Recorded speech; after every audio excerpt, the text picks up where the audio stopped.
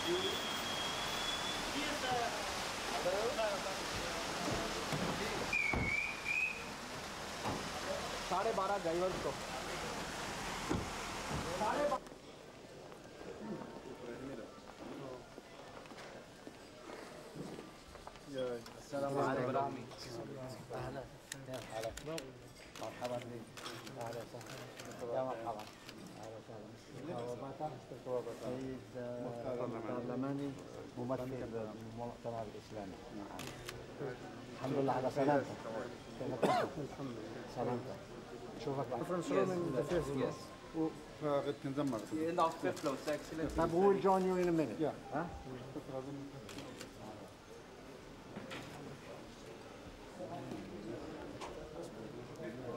ها؟ Al-Bakhi, uh, Rabia Balkhi Hospital and uh, Malali Hospital are existed for women.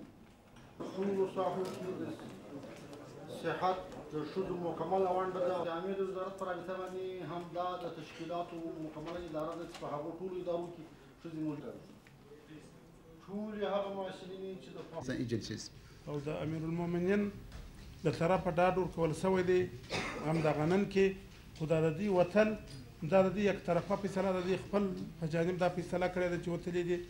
زموږ له طرفه د محترم مشر له طرفه اطمینان او ډاډ ورکول سوی دی چې دا عمل به په آینده کې تکرارېږي نه اما د اصول مراعات به کېږي There are lots of and insisting reports that uh, masses of arms are pouring in, which seems to indicate that the two sides were re- preparing themselves for another bout of uh, serious fighting once the winter is over.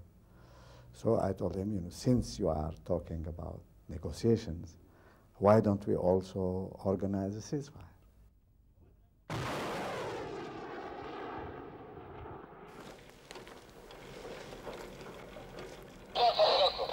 درست چهار تا اجرا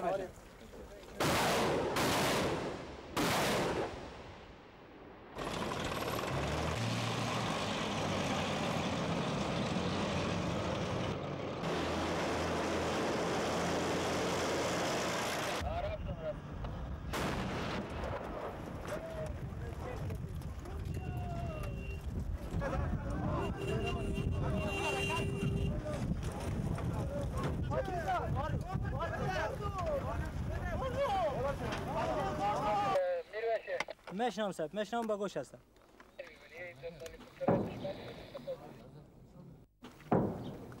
If we do pull out, it will be, uh, you know, because we have been forced to.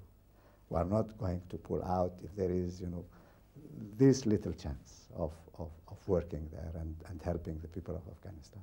I don't think the factions really have the realization how fed up uh, the United Nations and the international community is with this conflict. And the growing criticism by NGOs and by other people that, in fact, humanitarian operations in Afghanistan are fueling the conflict because they're allowing the warlords to carry on fighting, whereas the aid agencies are looking after the population.